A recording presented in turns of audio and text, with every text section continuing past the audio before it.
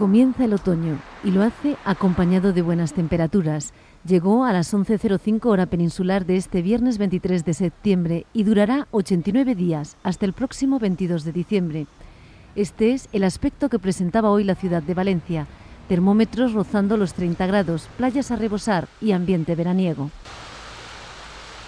Sin embargo, esta estampa estival durará poco.